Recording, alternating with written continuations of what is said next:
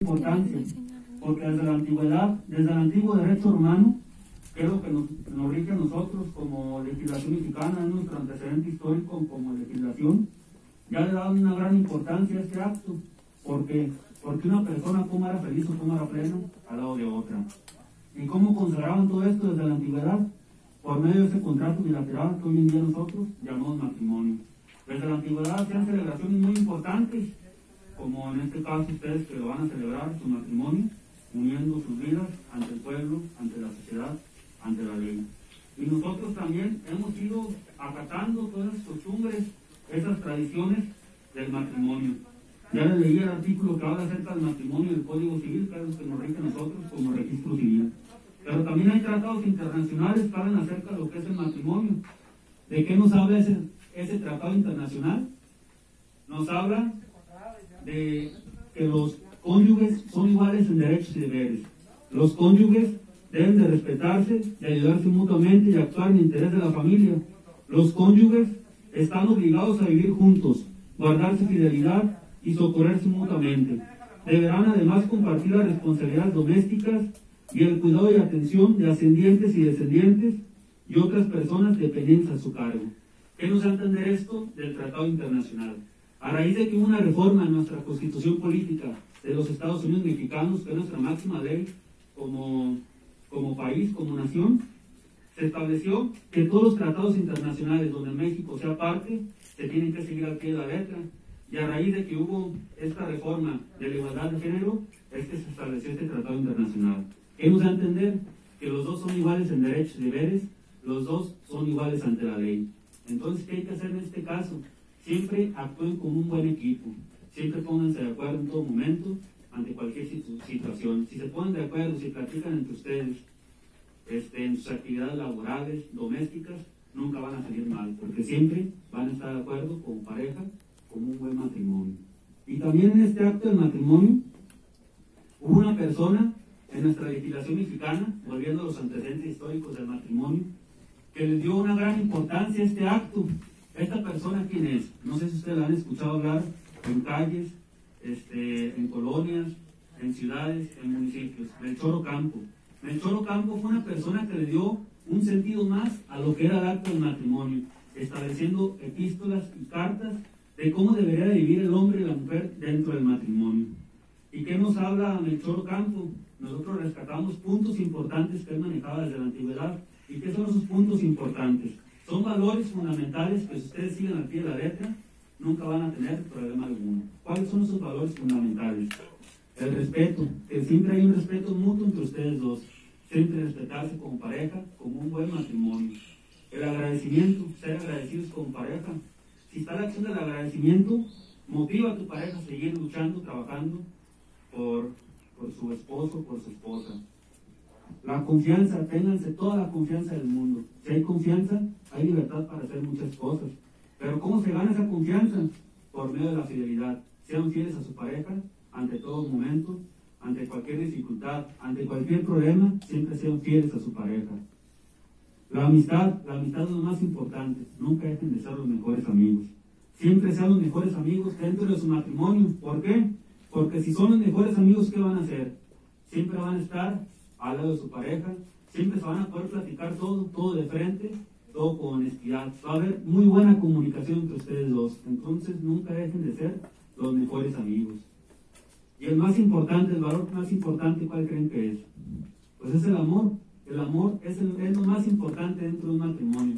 El amor es lo fundamental, es lo que va a resaltar dentro de su matrimonio. Si hay amor, van a poder sobrellevar su matrimonio, cualquier problema lo van a resolver porque hay amor entre ustedes dos. Como lo mencioné, siempre con buena amistad, buena comunicación. Y que el amor no decaiga, sino que el amor triunfe cada día más. ¿Y cómo se consigue esto para que el amor triunfe? Nunca caigan en el conformismo, nunca caigan en algo de una canción que establece, no sé si lo han escuchado, de una canción de Juan Gabriel que establece que la costumbre es más fuerte que el amor. ¿Lo han escuchado?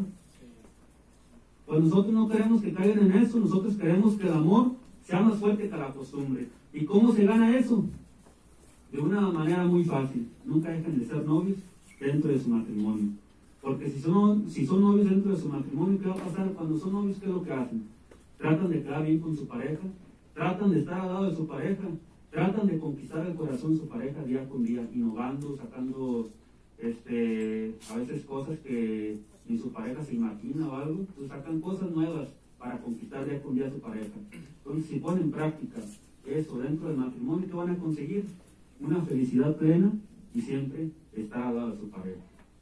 Pues sin más preámbulo, de esto que les acabamos de decir, vamos a pasar lo que marca el protocolo del matrimonio enseguida. ¿De qué manera? Primeramente les vamos a leer su acta de matrimonio.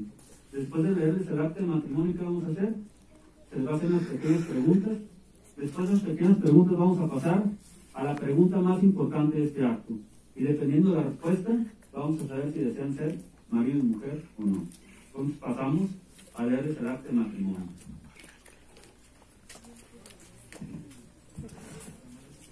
En este municipio de Yaguarica González Valle, Jalisco, hoy 25 de julio del 2020, viene ante nosotros para contraer matrimonio el contrayente Gabriel Franco Corrales. Lugar de nacimiento, Guadalajara, Jalisco. Domicilio, Lucas Alamán, 787. Fecha de nacimiento, 7 de abril de 1988, de nacionalidad mexicana. La contrayente, Kimber, Kimberly Romo Martínez. Lugar de nacimiento, Tepatitlán de Morelos, Jalisco. Domicilio, Gómez Farías, 143. Fecha de nacimiento, 9 de diciembre de 1996, de nacionalidad mexicana. Padres de los contrayentes. Padres del contrayente, Mari Franco Serrano, de nacionalidad mexicana. Manuela Corrales Fierro, de nacionalidad mexicana. Padres de la contrayente, Rafael Romo Ruiz, de nacionalidad mexicana. María Josefina Martínez Martínez, de nacionalidad mexicana. Como testigos aquí presentes, como primer testigo tenemos a Beatriz Franco Corrales, de nacionalidad mexicana. Como segundo testigo tenemos a Londra Guadalupe Villanueva Ibarra, de nacionalidad mexicana. Ambos están aceptando el reto del régimen legal, sociedad legal. ¿Están de acuerdo? Ahora les pregunto, ¿desean continuar con este acto de matrimonio? Muy bien, como les mencioné, vamos a empezar a una pequeña etapa de preguntas que les vamos a hacer. ¿Recuerdan el día que se conocieron ustedes? ¿Recuerdan de qué manera se conocieron? ¿Recuerdan el día que se hicieron novios? ¿Recuerdan de qué manera se hicieron novios? Bueno, pues imagino que hay momentos importantes en sus vidas, ¿verdad? Momentos históricos, inolvidables, que jamás van a salir de su corazón, de su memoria. Y a partir de este momento van a vivir acontecimientos históricos ya como marido y mujer. Van a empezar a escribir una historia de vida juntos, como nuevos esposos, como una nueva familia que va a comenzar a partir de este momento. Es por eso que vamos a pasar a la pregunta más importante de este acto. Y dependiendo de la respuesta, les vamos a saber si desean ser marido y mujer o no y continuar con este acto de matrimonio. Es por eso que te pregunto a ti, Gabriel Franco Corrales, ¿aceptas por esposa a Kimberly Romo Martínez? Sí, acepto. Ahora te pregunto a ti, Kimberly Romo Martínez, ¿aceptas por esposo a Gabriel Franco Corrales? Sí, acepto. Si no hay ningún inconveniente por los presentes, de acuerdo a lo que establece la ley, de acuerdo a lo que establece el derecho, en este municipio de Yaguarica, de González Valle, Jalisco, pido a todos los presentes, brinden un fuerte aplauso a esta pareja, mujer. Muchas felicidades.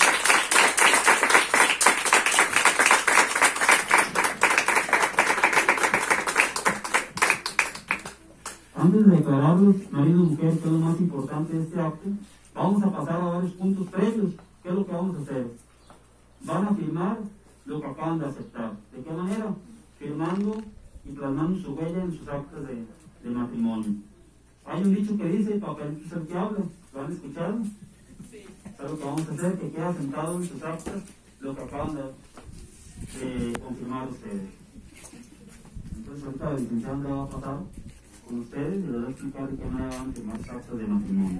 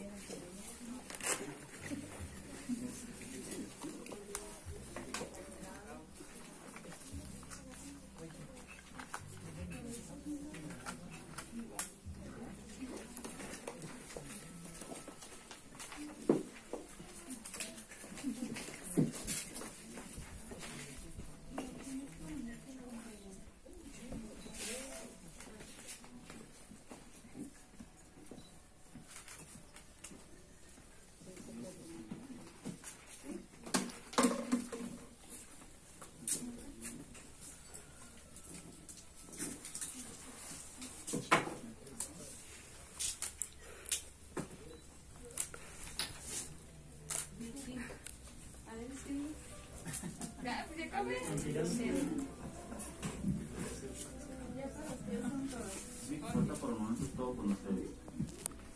continuación solicitamos la presencia de los papás del novio, Mario Franco Serrano,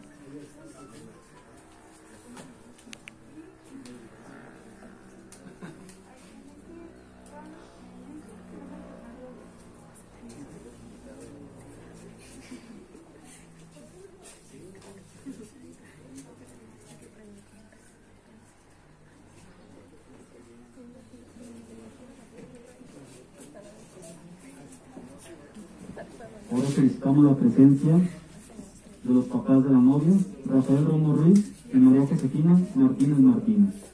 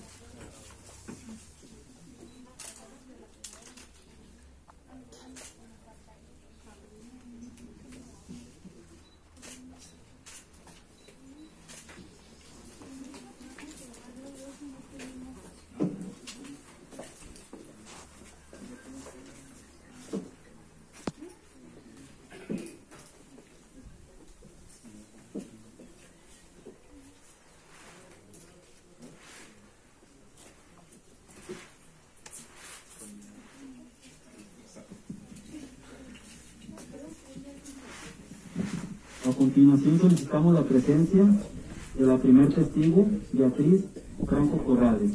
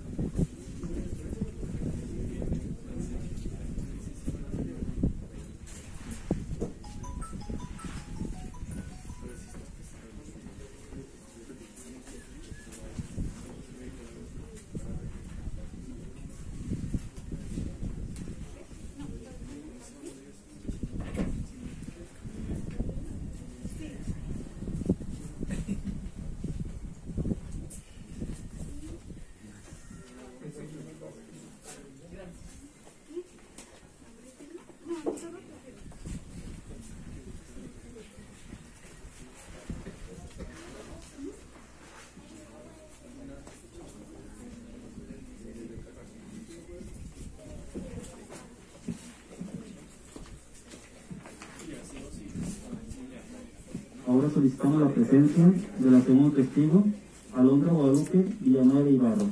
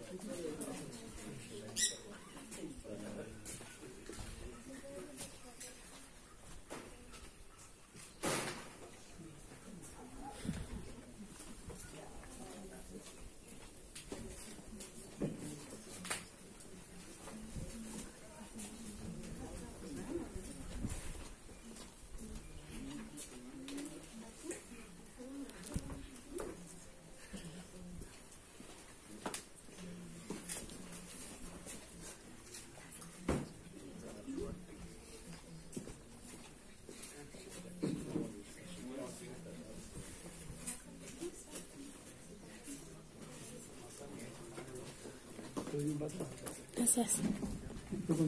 En estos momentos, donde aceptaron ser marido y mujer, donde firmaron sus actas de matrimonio, la firma de sus familiares, de sus testigos, vamos a pasar a otro punto aún más importante que nos marca la ley. ¿A qué me refiero?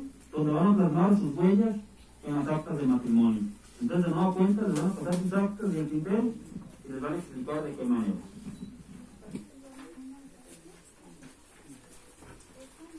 El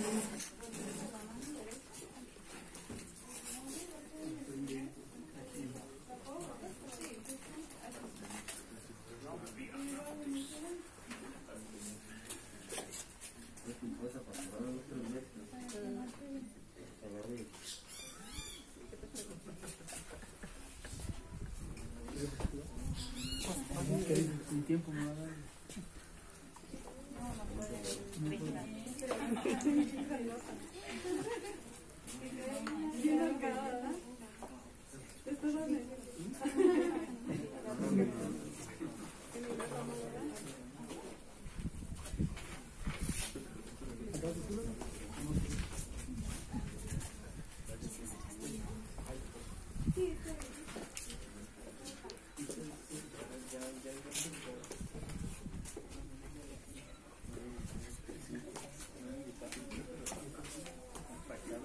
Antes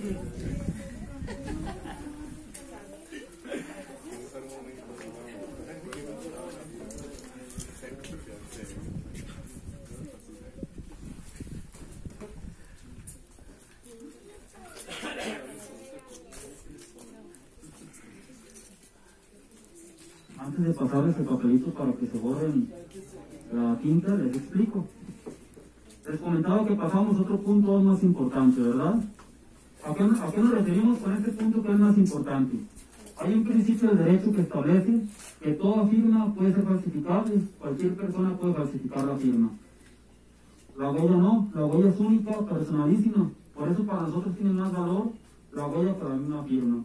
Es algo que nos da identidad a nivel internacional al tener nuestra propia huella.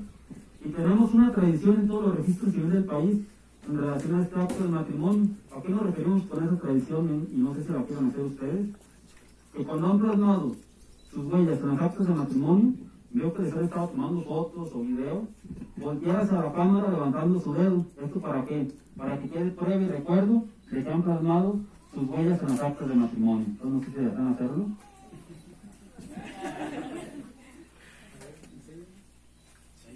A mí también.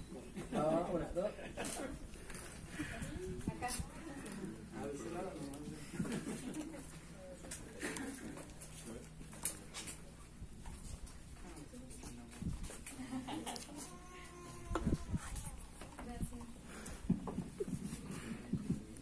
Y con este acto, pues solamente nos quedan dos puntos para concluir. El primero de ellos es un servidor como oficial del registro civil dar fe y legalidad de los hechos de lo que acaban de aceptar ustedes. ¿De qué manera? Les mando mi firma en todas las actas de matrimonio y el sello correspondiente de la oficialidad del registro civil. Y el segundo punto, ¿cuál es? El más importante, donde lo vamos a declarar marido y mujer. Entonces paso a firmar sus actos de matrimonio.